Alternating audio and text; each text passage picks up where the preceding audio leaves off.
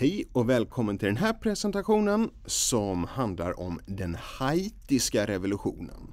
Den ingår i serien om revolutionernas tid och eh, där har vi tidigare tittat på den nordamerikanska revolutionen och den franska revolutionen och nu kommer då Eh, tiden till den haitiska revolutionen som jag tror är den minst kända av de här stora politiska omvälvningarna i slutet av 1700-talet. Eh, och det är synd för den här har rätt stor betydelse kan man argumentera för.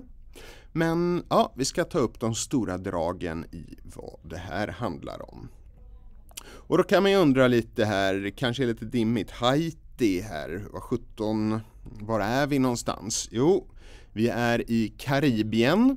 Haiti var eh, innan revolutionen en fransk koloni eh, i Västindien, Karibiska havet. Där är en pil som pekar ut den här franska kolonin. Och det som händer här är att det sker en framgångsrik slavrevolt som leder till en självständig stat som i alla fall tidvis leds av före detta slavar.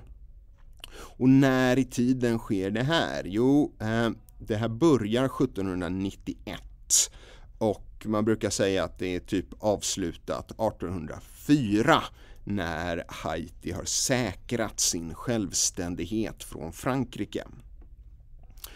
Eh, och av tiden kan, och eh, relationen till Frankrike så kan man ana att det här påverkas en hel del av den franska revolutionen och det är helt riktigt.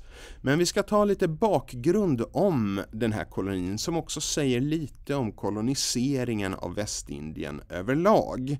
För det som ja, Frankrike upprättade på eh, den här ön, det skiljer sig inte jättemycket från eh, de spanska kolonierna eller de engelska kolonierna i samma område. Men i alla fall, vi tar då hur det såg ut före revolutionen. Och Haiti eh, kom att koloniseras av Frankrike på 1600-talet och blev den här kolonin eh, gick då under namnet Saint-Domingue. Det här var som andra kolonier i Västindien en slavekonomi. Det vill säga, eh, det byggdes upp på att slavar från Afrika eh, gjorde grovarbetet och så var det vita jordägare, det här är stavat fel, så det ska stå vita och inte sita. Vita jordägare, de som ägde själva jorden, som tjänade pengar på det här. Eh, och vad var det för någonting som man odlade på eh, ön Saint-Dominique som, som var så värdefullt? Jo, framförallt socker. Det är det vi ser på bilden här från 1700-talet någon gång med de svarta slavarbetarna som jobbar på sockerfälten eh, och vi kan också ana eh, någon vit överinspektör eh, till häst i förgrunden. Eh, men det här var en väldigt viktig vara. Under 1700-talet så kommer också kaffe att bli eh, viktigt. Och det här var de två stora grödorna eh, på den här ön som man tjänade väldigt mycket pengar på.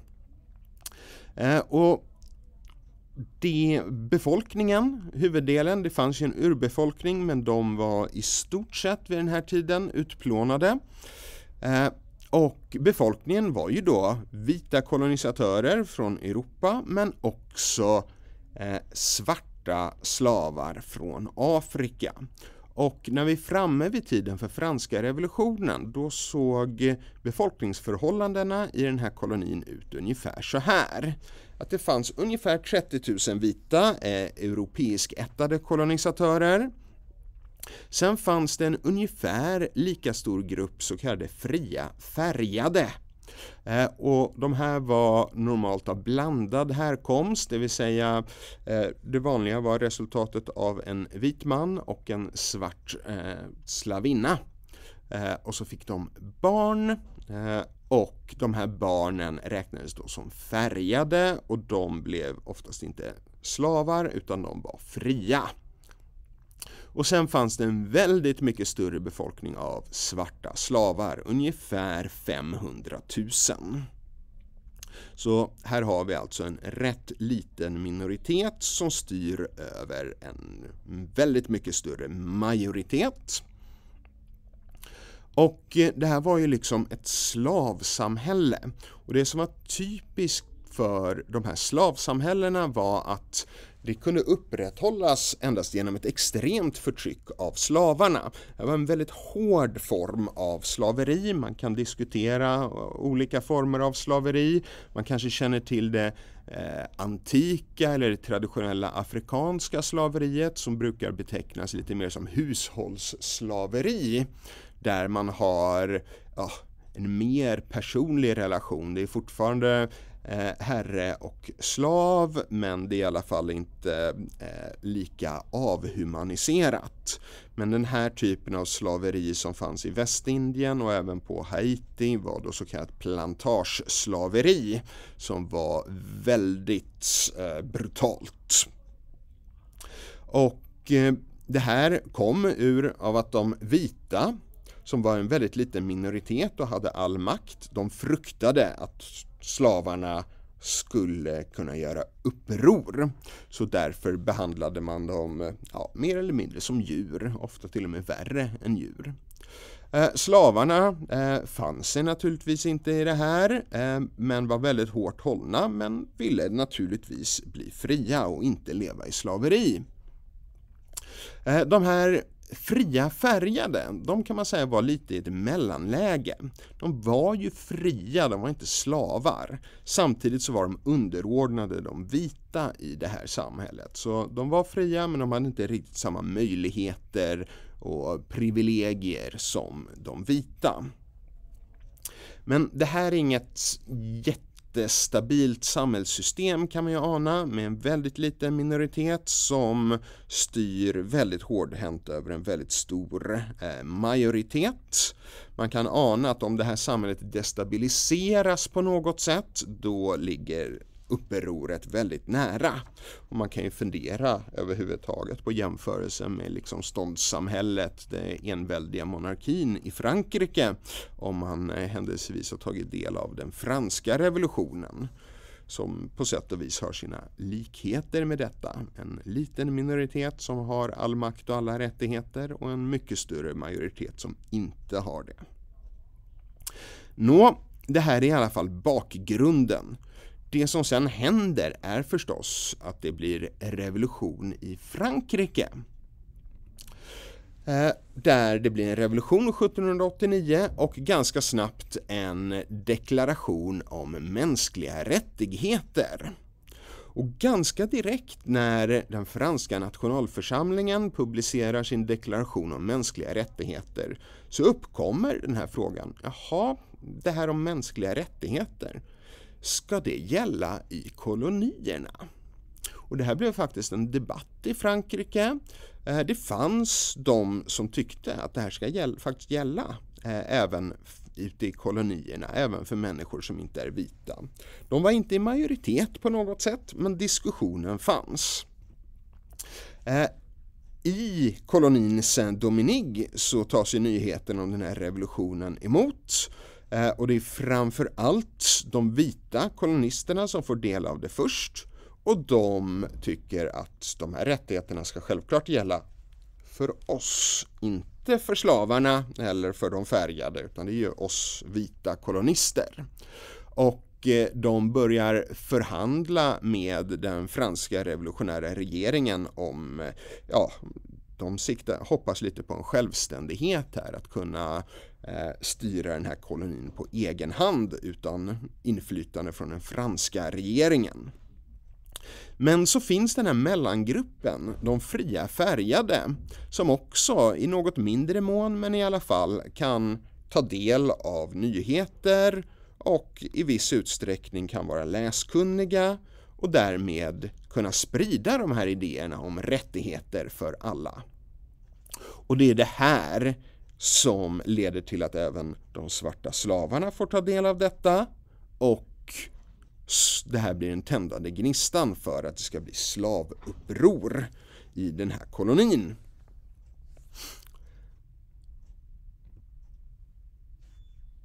Och de här slavupproren, det kan man ju då ana återigen av styrkeförhållandena att eh, slavarna är i majoritet och eh, gör uppror. Det här blir svårt för de vita att hålla tillbaka.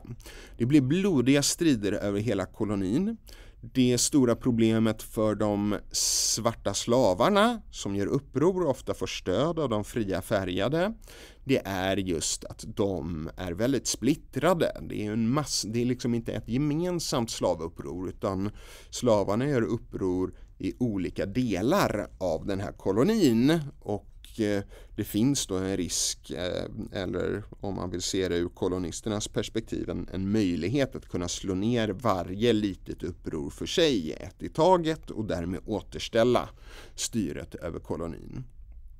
Men här träder då en ledare för slavupproren in. Eh, och det är mannen på bilden här, eh, François Toussaint Louverture, som var en Eh, Eh, han hade fötts som svart slav men hade blivit frigiven eh, och eh, hade tagit del av de här idéerna. Han blir ledare för ett av de här slavupproren och visar sig väldigt skicklig på att samordna de här olika upproren så att det här blir en kraft som blir övermäktig för de här vita kolonisterna som börjar förlora Eh, den franska regeringen fruktar då att de ska bli av med den här kolonin som är väldigt vinstgivande. Så de skickar militära styrkor för att slå ner slavupproret. Dessutom så blandar sig andra länder i, framförallt då eh, Storbritannien och Spanien som, och det här är en ganska rörigt, å ena sidan så tycker de att det är bra att Frankrike inte har kontroll över den här kolonin, å andra sidan så fruktar de att eh, det här slavupproret ska sprida sig till deras kolonier. Så de spelar en lite dubbel roll i de här stridigheterna. Eh, sen sker så småningom ett accepterande av situationen i eh, den här kolonin. Eh, det är när Robespierre eh, kommer till makten i Frankrike.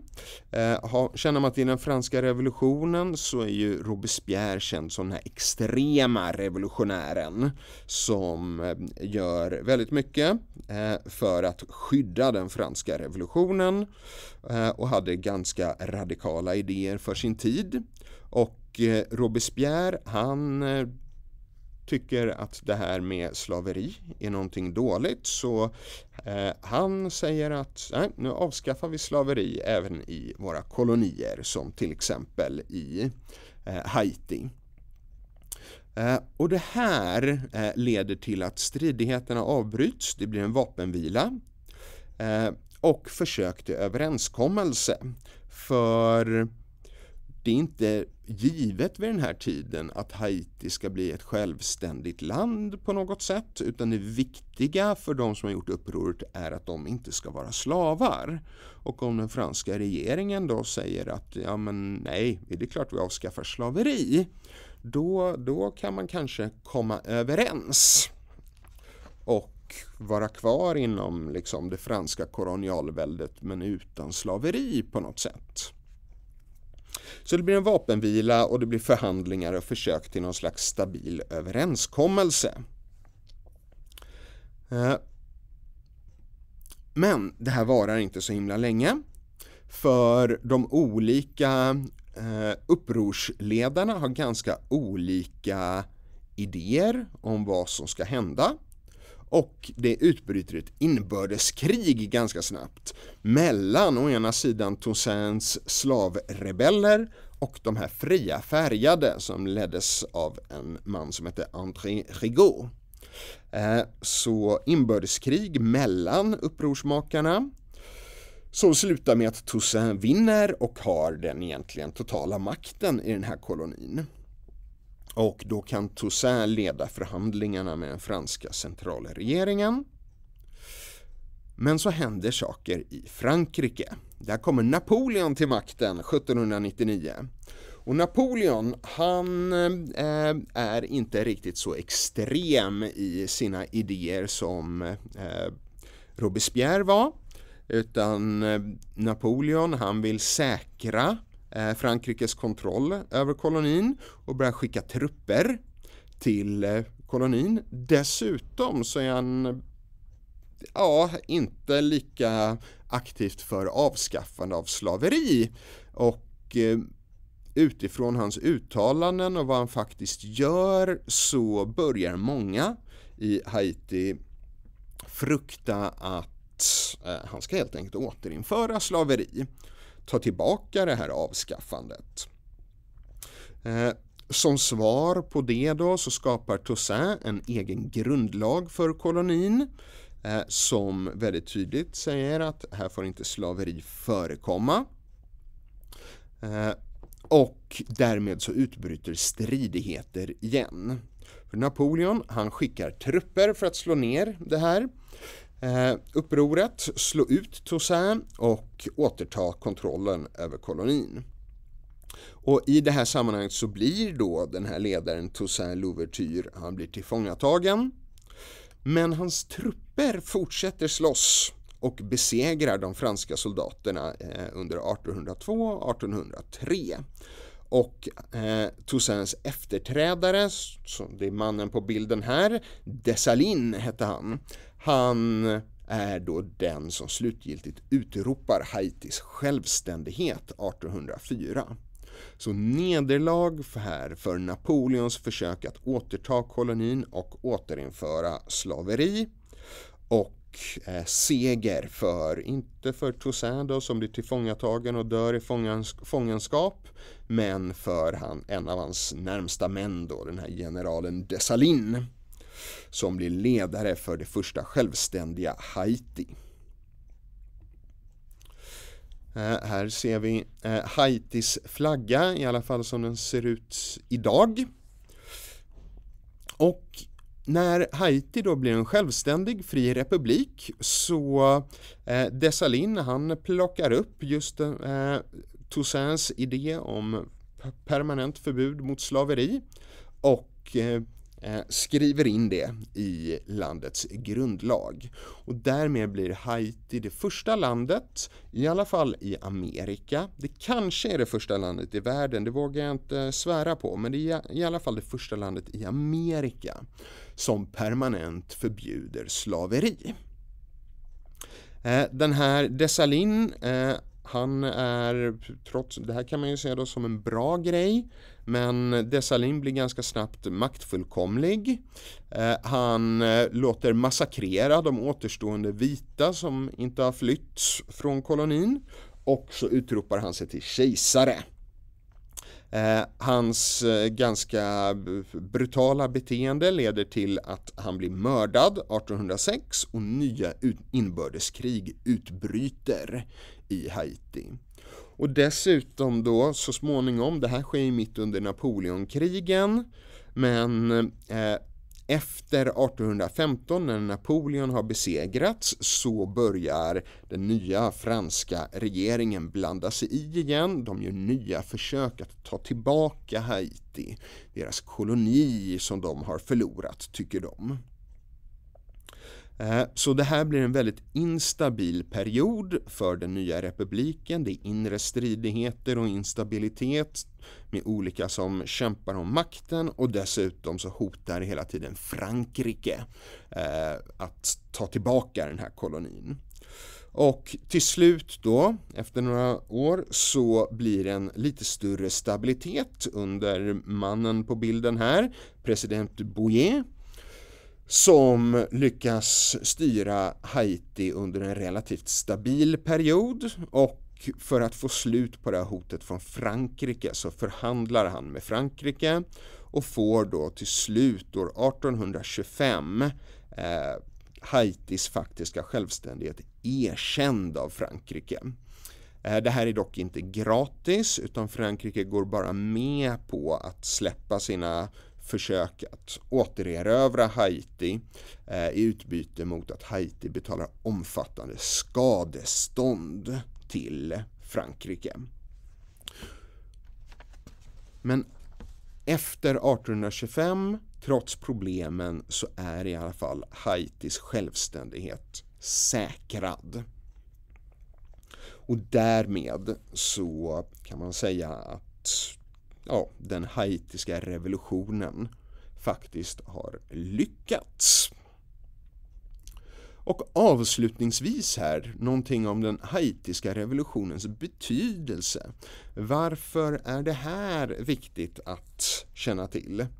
Ja, eh, här har vi det första riktigt framgångsrika slavupproret i modern tid som leder till en egen svart republik i Amerika. Eh, det är i sig en viktig sak. Eh, det är nödvändigtvis inte superbra för människorna i Haiti. De har ju visserligen blivit av med slaveriet och blivit självständiga. De styrs inte längre från Frankrike. Men när det här sker och när det har skett så blir landet väldigt isolerat och fruktat av omvärlden. För överallt runt omkring så existerar fortfarande antingen olika europeiska kolonier eller länder som har gjort sig självständiga som exempelvis USA eh, och även de sydamerikanska länderna som blev självständiga vid den här tiden. Och de är inte för avskaffande av slaveri vid den här tiden. USA har ju till exempel kvar slaveri och då ses Haiti som ett hot, en fara, en farlig smitta som skulle kunna sprida det här med slavuppror eh, till andra länder och därför så behandlas Haiti ganska fientligt av omvärlden under den här tiden. Dessutom då så hamnar de i ekonomisk skuld till Frankrike för att slippa nya invasionshot.